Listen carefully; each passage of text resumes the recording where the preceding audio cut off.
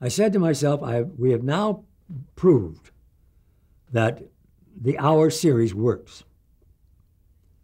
Uh, but no one has ever done an hour private eye show, although private eye shows are very popular on television. But they're all half hour. Many of them were live. And I said, there's no reason why a private eye show wouldn't work in the hour format. Uh, and so I put together uh, 77 Sunset Strip. This is a part of the game that I was playing at that time. By that time, I was playing a game with Bill Orr called Block That Royalty.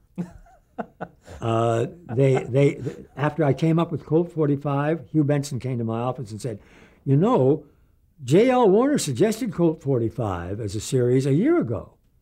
And I said, Really, uh, really, uh, Hugh? Isn't it strange that you waited a full year to do anything about something J.L. Warner said to you? No reply. No reply at all. But so I didn't get, but I lost. I didn't get the royalty on that because J.L. Warner came up with that one. Maverick, they actually bought a treatment I wrote at Columbia based on the War of the Copper Kings in order to block my royalty. They actually went to Columbia and bought that unmade uh, treatment that I wrote while I was under contract to Columbia. Now I'm doing 77, and I've come up with a story uh, that is my own. They're going to owe me a royalty. And Bill Orr can't afford that because J.L. Warner has lowered, has, has given this edict that there will be no royalties paid. Now, what's he going to do about that?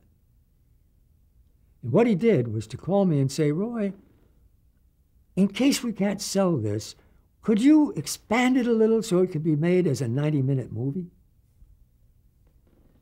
And I thought, what's he up to?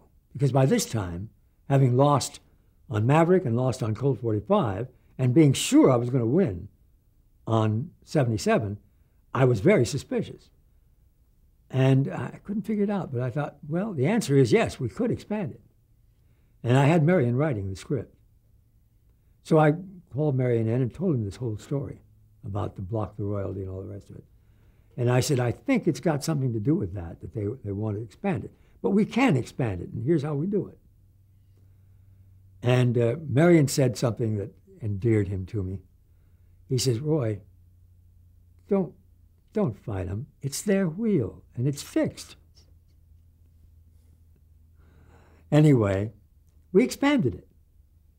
And now, on all the production reports that were coming in that used to say 77 Sunset Strip, they now all said Girl on the Run, which was the name of the story I came up with.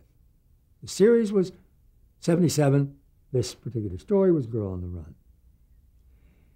It was made, they took it to the Caribbean and ran it for a week in a theater in the Caribbean as a movie.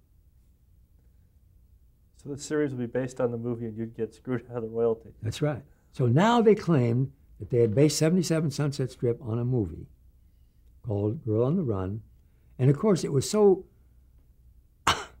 it was so obviously a, a device to avoid having to pay me a royalty. And uh, I thought, this one I can win. So I called in much later for an arbitration. I lost the arbitration.